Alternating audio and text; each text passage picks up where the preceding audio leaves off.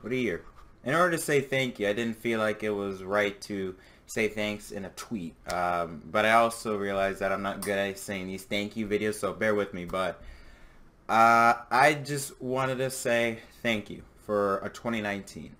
Um, when I the first half of this year, I felt like I didn't have a place for YouTube. I didn't feel like I was gonna be able to succeed. I didn't feel like I was gonna have a voice. I just didn't feel anything for YouTube. I didn't think there was gonna be a future for me in this channel. Um, but and I didn't feel like personally that there was a place for NASCAR YouTubers as a voice to have a community like this. But my God, was I wrong? the second half of 2019 has been, like the last six months, personally, have been the best six months of my entire YouTube career for the past two or three years. I've got to meet, first of all, I went to Bristol and got to meet a bunch of new people, and I consider them friends. Uh, Jared, Darian, Danny, uh, Joseph, Brendan, Joey.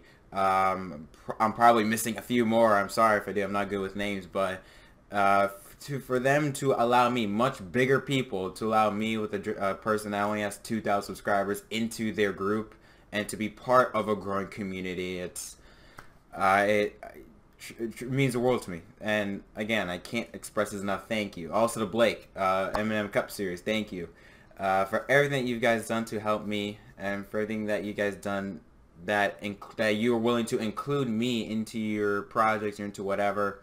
Um, truly, I can I, I can't express this express this enough. But thank you, thank you to the fans, thank you to the people that have subscribed to this channel. We finally hit 2,000 subscribers.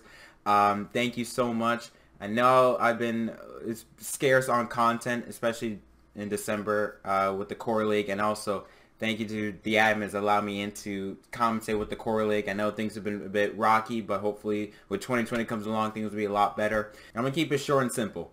Um, you know, I, I don't know what 2020 is going to look like. I don't know what this channel is going to look like in 2020, but I do know with everything that's going on with NASCAR, YouTube, and the whole community and the people that are in it, all I know is that 2020 is going to be one hell of a year. Again, I don't know what's going to happen.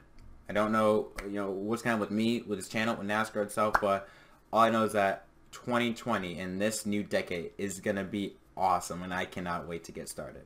Um, according this time, it's uh, three and a half hours away from a new year, so hopefully you guys enjoy your time with your family, your friends, and ring in a new year. And uh, yeah, thank you, thank you so much, and I cannot wait to get started in 2020. Until until next time, my name is Jett. Cheers to 2019 and hello to 2020. I'll see you guys next time.